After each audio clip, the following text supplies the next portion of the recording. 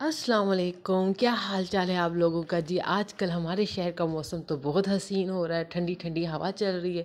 थोड़ी थोड़ी बारिश भी हो जाती है, पर इससे मौसम बहुत हसीन हो गया आज इस हसीन मौसम में मैं बना रही हूँ चटपटी, मज़ेदार, बहुत ही टेस्टी आलू चने की चाट। मुझे ये बताएँ किस किस को आलू चने की चाट बहुत पसंद है?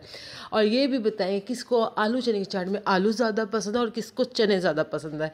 हमारे घर में जी, हम तो ठहरे आलू लवर्स हमारी चाट में आलू ज़रा ज़्यादा ही नज़र आएँगे।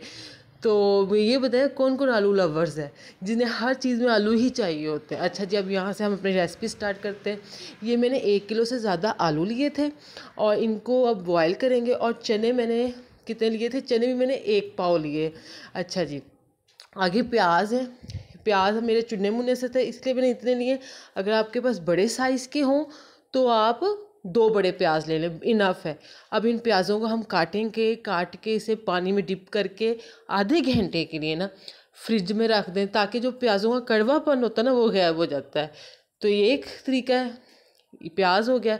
इसके बाद हम लेंगे टमाटर और हरी मिर्चें और इनको भी ब्रीक ब्रीक काट लेंगे। अब देखें यहाँ पे मैंने प्याज में पानी डाल दिया है और पानी डाल के अब हम इसे फ्रीज़र में रख देंगे। और आप जितने प्याज पसंद करते हो नॉर्मली दो बड़े प्याज इनफ होते हैं। अब जो हमारे टमाटर आ गए और हरी मिर्ची आ गई। टमाटर मैंने तीन लिए, हरी मिर्चें दो लिए। अगर आपको हरी मिर्चें ज़्यादा पसंद है तो आप दो से चार भी कर सकते हो। ये आपके अपने टेस्ट के मुताबिक है। अब हम इन्हें भी ब्रीक ब्रीक कटिंग कर लेंगे। और ये देखें जी, हमारे टमाटर भी कट गए हैं और हरी मिर्चें भी कट गई हैं। और ये ये तो फिर चाट की जी, क्या कहते हैं, शान होती है, रौनक होती कलरफुल कर देती है चाट को तो।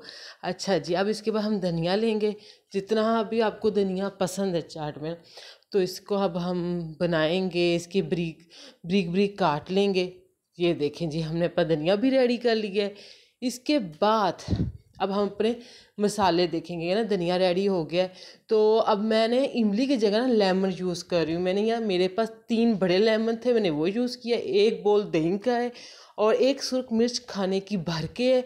एक ही खाने का चमचा भर के चाट मसाले का और एक ही खाने का चमचा भर के नमक का है। ठीक है? तो ये इनफ है। इतनी जितनी मैं रेसिपी बना उसमें ये इनफ है। तो ये अब हमने आलू काट लिए हैं। ये आलू ना एक किलो से ज़्यादा लेंगे। अब इसमें हम चने ऐड करेंगे। चनों को मैंने ऐसे बॉयल किया था, एक खाने का नमक डाल के ना इसे बॉयल कर था वो चनों का फीकापन होता है ना, वो भी गायब हो जाता है। ये एक पाव चने एक किलो आलू से एक किलो ज़्यादा आलू हैं, उनके लिए एक पाव चने लिए अब टमाटर, धनिया, हरी मिर्ची ऐड कर दी है मैंने।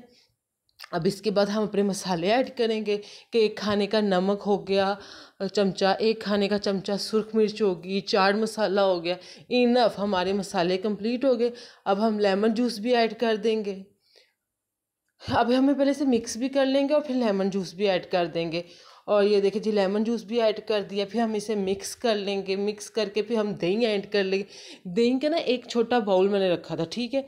दही और उसके बाद फिर हम दही ऐड कर दिए। ये देखिए, दही भी ऐड हो गया और इसे अच्छे से मिक्स करेंगे। बहुत मज़े की बनी थी, बहुत चटपटी, मज़ेदार टेस्टी उफ़, मुँह में पानी आ गया, अभी भी मैं देख के बहुत मज़े की बनी थी। अब इसको हम मिक्स कर लिया। अच्छा जी, अब मिक्स हो गया। अब हम इसे अच्छे से डिश किसी डिश में करते हैं। और आप मुझे बताइएगा कि आपको मेरी रेसिपी आज कैसी लगी। मेरे चैनल को सब्सक्राइब कर लें। आज की वीडियो को लाइक कर लें। जहाँ जहाँ हैं, खुश रहें, आबाद रहें। और मेरी इस रेसिपी को ज़रूर ट्राई कीजिएगा। बहुत टेस्टी थी, बहुत मज़े की थी। और ओके जी, अल्लाह हाफिज़।